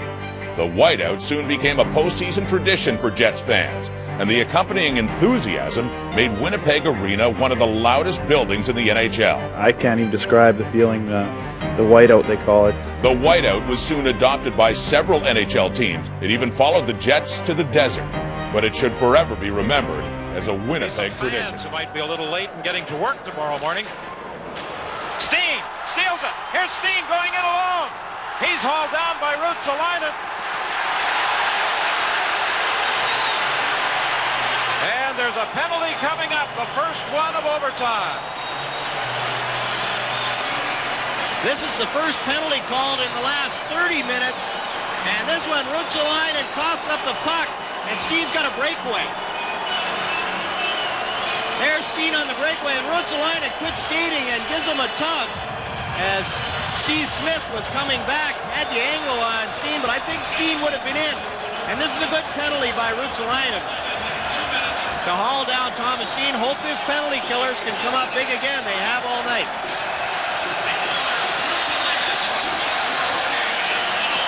While Ruotsalainen made a game-saving play on Dale Hawerchuk, preventing him from getting a pass across to Dave McLlwain on a two-on-one.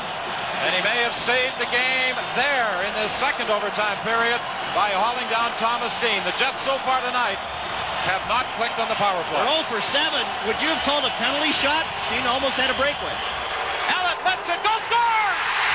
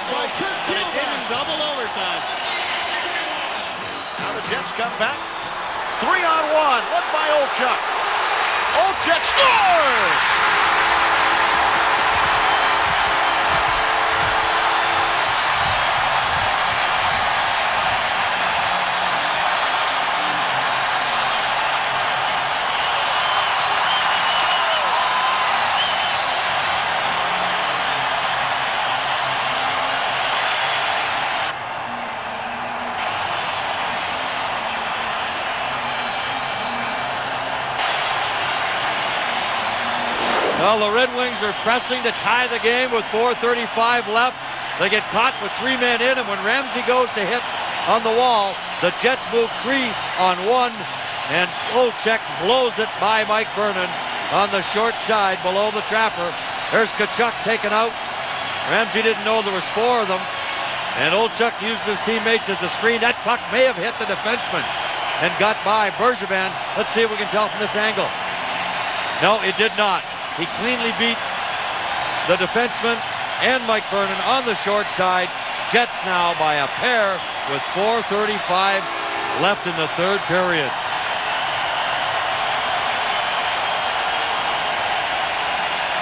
Eddie Olczyk knows all about scoring goals, boy. He scored a ton of goals throughout his career. 12th year in the National Hockey League.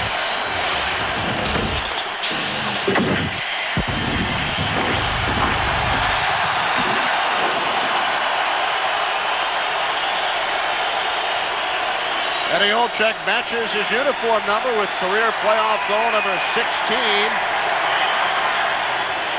Comes at 15-25 of this third period, assisted by Tkachuk and Muni. So Craig Muni with his second assist. I don't know if I've ever heard a building as deafening as this Winnipeg Arena.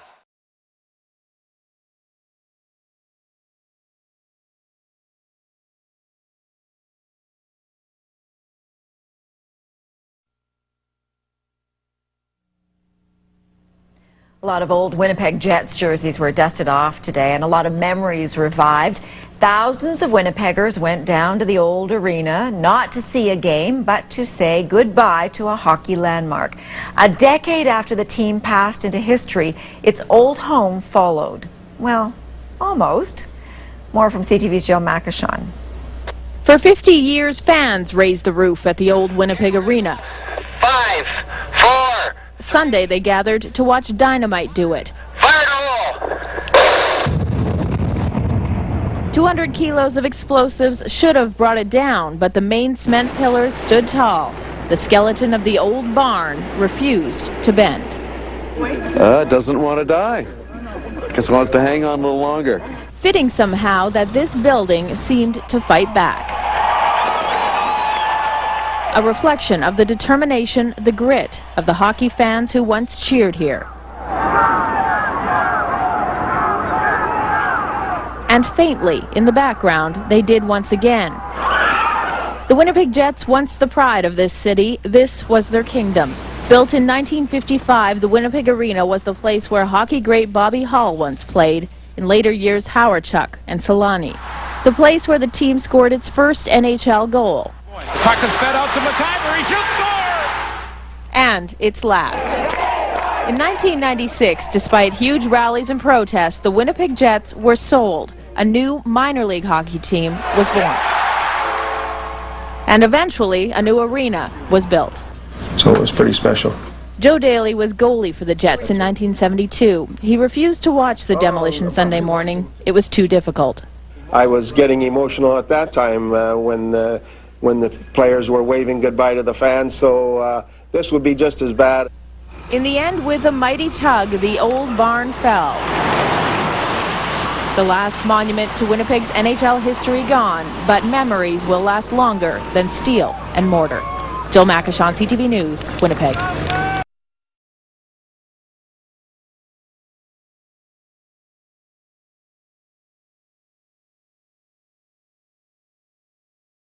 The big news is the Thrashers have been sold to True North Sports and Entertainment in Winnipeg. The man who broke the news, Sportsnet's Stephen Brunt. Uh, any more details than that, Stephen? Well, you know, it's this has been quite a flurry of activity tonight since the news broke, obviously. But you know, that is the core story, RJ. That the uh, deal has been completed between True North and uh, Atlanta Spirit, the owners of the Atlanta Thrashers, uh, that would have the team sold to the Winnipeg Group and moved to Winnipeg. Uh, there are preparations underway to make that announcement next Tuesday. Um, now, who knows now with this having broken tonight, uh, not on their schedule, who knows whether that'll happen Tuesday or not. But that was the plan this, this evening, and sources very at very high levels of this deal have confirmed it for the Globe and Mail.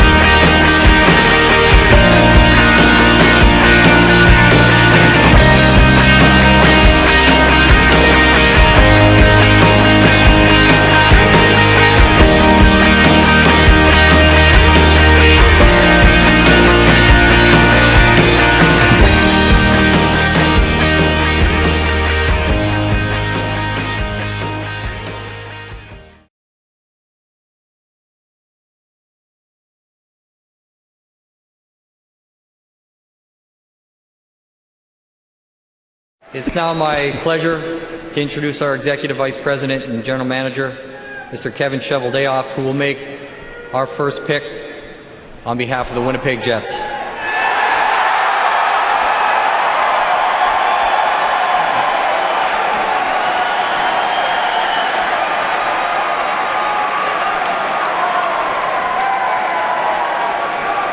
First of all, I'd like to say hello to all our great fans in Winnipeg at the MTS Center. St. John's, Newfoundland, our affiliate in the American Hockey League, and the great fans that have made all the way here to Minneapolis.